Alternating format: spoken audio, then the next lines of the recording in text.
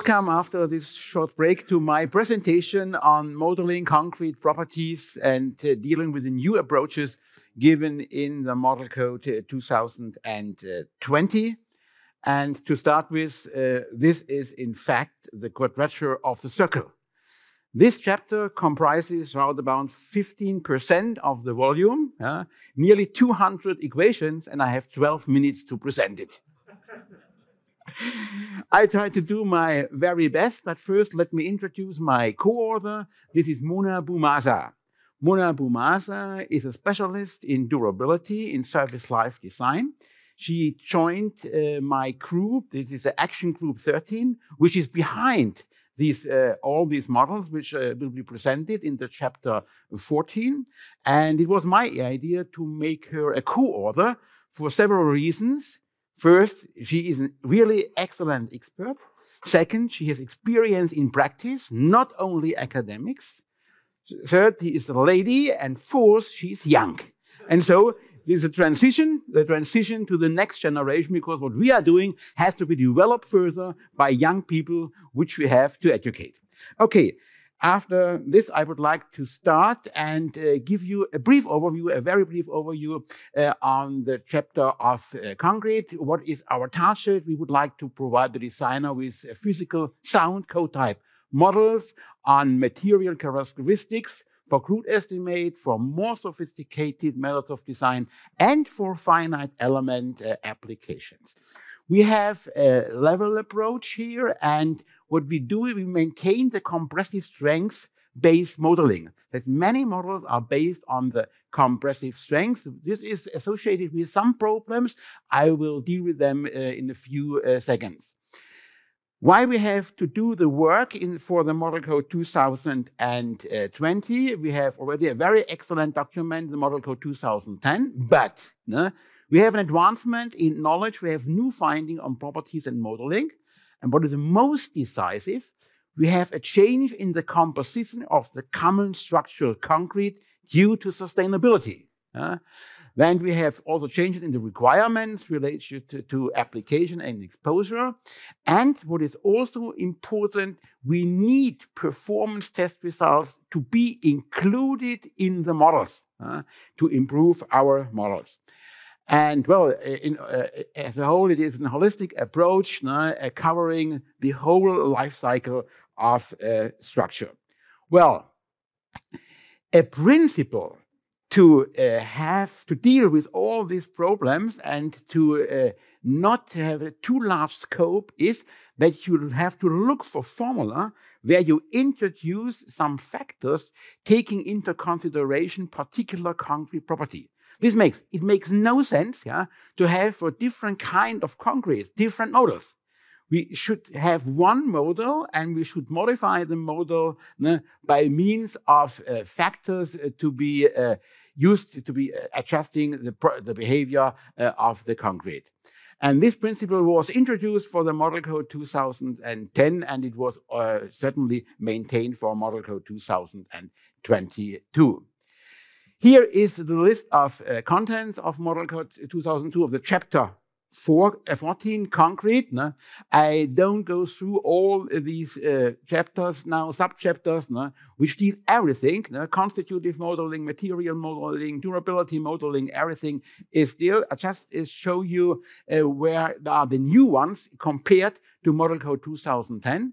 We have a specification approach for durability. We have provisions uh, for concrete material quality. We have provisions for environmental performance.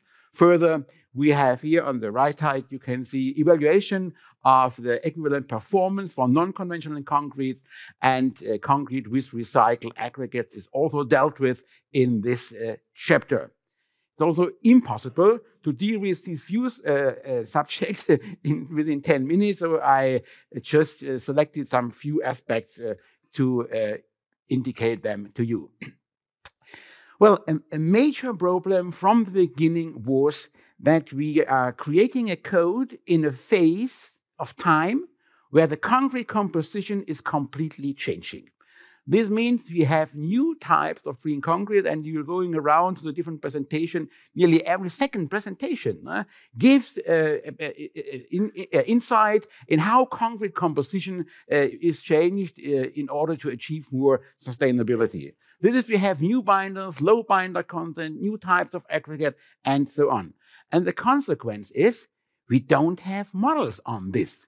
We have no consolidated knowledge on these new types of concrete. Uh, and uh, we have, are not able to use the well established, in 50 years established, uh, the strength based concepts. They cannot be uh, applied to the new types of concrete. It doesn't work. No? So we need performance based testing and modeling, uh, and this is uh, prescribed in the model code. Well, and it is very important at this point, right at the beginning, to distinguish when we can use the model as it is given in the model code, the chapter concrete, or when we have to do additional tests. And uh, our distinction is made by dividing, subdividing into conventional concrete and non-conventional concrete. And you see the conventional concrete are these, we are accustomed to normal strength, high strength concrete, New concrete, of course, and also old concrete from existing structures, and the non-conventional concrete cover, in particular the green and maybe any others being developed in the future. And we want to have that our model code is not outdated. Already when new concretes are coming in, it should be uh, able to use uh, when we deal with new kinds of concrete. And I have also uh, listed in the last line the model basis uh, of course, we have the strength grade basis or the performance basis for conventional concrete. For non-conventional concrete, there is only the performance test basis. And it decisive, these tests are specified in the Model Code 2020. And there is a background document explaining to the people how to uh, run tests no, in order to modify the equations given in uh, the model code, which are valid, of course, for the time being for conventional concrete. This is, uh, uh has been a main target in uh, our uh, work.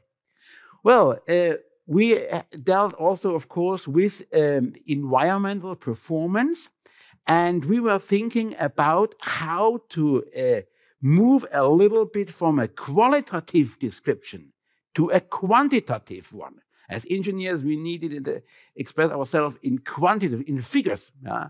And uh, we have also to keep in mind that, of course, uh, reducing the CO2 emission is a major target. The global warming potential has to be reduced.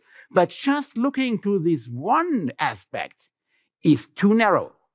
But think about it. if I make a concrete no, with a very low uh, global warming potential, it may only have a lifetime of five years. After five years, I have to renew the structure. And every five years, I have to do it. So you can imagine uh, that you have, of course, for the individual structure, a low warming uh, potential. But in the overall, over 100 years, uh, it adds up. So you see, you have to imply other factors, and the factors are performance and service life. The higher the performance and the higher the service life, the higher the concrete sustainability uh, potential, and uh, the environmental impact reduces this potential. It's a simple equation. It needs some explanation. This explanation is to a short extent given on the left-hand side in the model code, but it needs a longer explanation in the bulletin, which is associated uh, with uh, this chapter uh, 14. Well, of course, these parameters can be easily selected. I did it here as just as an example. Oh, but yeah, now I was pushing on the wrong button now. Here, uh, here, uh, I, I, just did it for compressive strength and service life design and G, uh, WP. I could do it also for others. This is a little bit described uh, in uh, the background document to give the people who are developing the concrete a calculational tool to get an estimate on the durability of, uh, on the sustainability of the material. Well, this is a chart from my textbook. It was already shown by Carmen. Uh, it is well known since 30 or 40 years. What is interesting for me in this context is because I am a person trying to model things on a level of material, is uh, which is a level we can introduce in the uh, model code. And uh, here, for example, I uh, have written, you see it here, where we have a physical model of level of approximation 4, that is, we know everything and have a, are able to do a full probabilistic uh, service life design. And uh, you can uh, see here that uh, if we have, of course, if we look into the steel, carbonation and chlorides, we can do it perfectly. It has been uh, shown by, by Carmen, also used, uh, has mentioned it. No? We have, of course, also good uh, models for thermal cracking and for shrinkage.